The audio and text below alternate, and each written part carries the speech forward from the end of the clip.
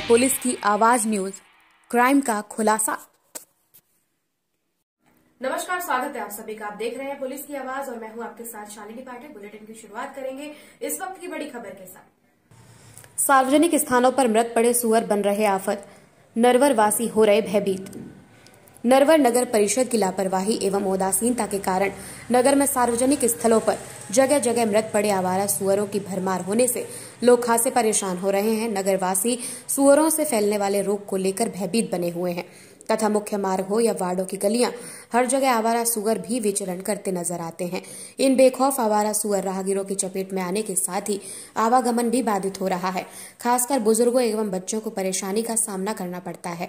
लेकिन इन सबके बीच नगर परिषद इन मृत सुअरों को उठाने के प्रति लापरवाह बने हुए हैं।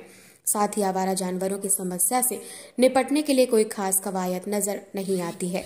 आए दिन शहर के कई हिस्सों में खुले पड़े मृत सुअरों से स्थानीय शहरवासियों के लिए परेशानी का सबब है। क्या नाम है आपका? नासिर अली। क्या समस्या है यहाँ पर? पीछे जो सुअर मर रहे हैं उससे बदबू आती है दुकान तक बहुत परेशानी आती है। और अभी तक जो कोई उठवाने आता है? नगर पंचायत वाले आते हैं तो कंप्लेंट करो दूसरे दिन। ये डेली कहते हैं एक दो एक दो मर जाते हैं प्रशासन को खुद मालूम है ये किसके हैं क्या है समस्या समझ समझ नहीं आता। क्या नाम है आपका? ओम प्रकाश चौरसिया। मतलब यहाँ पर क्या समस्या है समस्या ये नासिर ये पुरानी मंडी में नासिर की दुकान के पीछे परसों भी पाँच छः शुगर मरे थे कल भी मरे रोज़ शुगर मर रहे हैं दो चार। मतलब आपने इसकी शिकायत की? शिकायत तो की वो मतलब शिकायत की जब ही तो दो बार उठा के ले गए ना दोबारा से कोई परवाही नहीं है उन्हें ना तो क्या नाम है तुम्हारा? मतलब क्या सब- समस्या है यहाँ पर? समस्या यही है सुअर की ज़्यादा मारा मारी हो रही है। अभी दो चार दिन पहले भी पिके थे।